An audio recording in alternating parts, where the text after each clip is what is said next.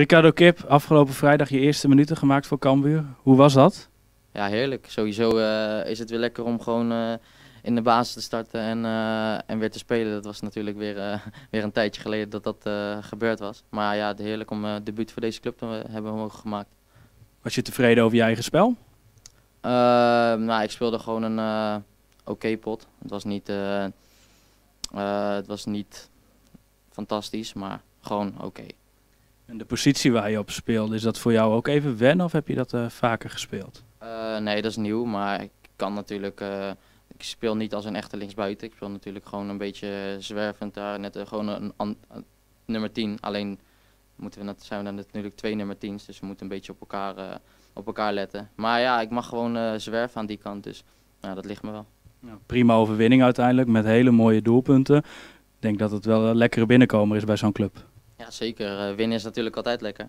En als je dan uh, ook gelijk je eerste wedstrijd wint, dat is fantastisch. Nu vrijdag tegen Fortuna Sittard. Hoe sta je er zelf voor? Want je bent redelijk op tijd gewisseld. Was dat, was dat bewust dat je er vroeg uitging? ik, had, ik had natuurlijk al wat, wat last van mijn hamstring. En nou ja, ik denk dat dat ook wel de reden is waarom, uh, waarom ik er iets eerder uit ging. Ja. Dat was dan uit voorzorg? Ik denk het, ja. Oké, okay, en uh, vrijdag tegen Fortuna Sittard, ben je, ben je fit? Ja, ik, uh, ik ben gewoon fit om te spelen, dus ja, zeker. Heb je de wedstrijd van Fortuna Sittard van afgelopen maandag ook nog gezien?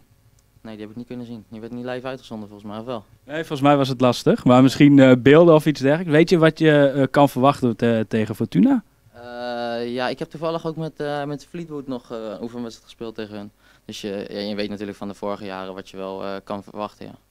En waar, moet, waar moeten jullie rekening mee houden? Nou, ik denk niet dat wij ergens rekening mee hoeven te houden. Denk dat we meer rekening moet, met ons moeten houden. Dus gewoon als jullie zo voetballen als vrijdag, dan moet het goed komen. dan hoor je die tegenstander gewoon op, denk ik. Dat is ook het, het doel? Zeker, natuurlijk is dat, dat, dat is altijd het doel, toch? En dan uh, heb je direct een hele drukke week erachteraan met uh, een bekerwedstrijd. Is dat lekker als je nieuw bent bij een club om direct maar uh, heel veel wedstrijden achter elkaar te hebben? Zeker. Het is altijd lekker om wedstrijden te spelen natuurlijk. Beter, beter wedstrijden spelen dan, dan, dan meer trainen. En wil je ze ook allemaal spelen? Of heb je al een idee van wat, wat de trainer bijvoorbeeld wil met deze bekerwedstrijden? Nou ja, ik wil zoveel mogelijk spelen natuurlijk. Ik heb, ja, dat wat ik net zeg, lange tijd geleden dat ik veel minuten maak. Dus nou ja, ik wil uh, liefst gewoon alles spelen, ja. En zoveel mogelijk scoren. Precies. Ja. Succes daarmee. Dankjewel.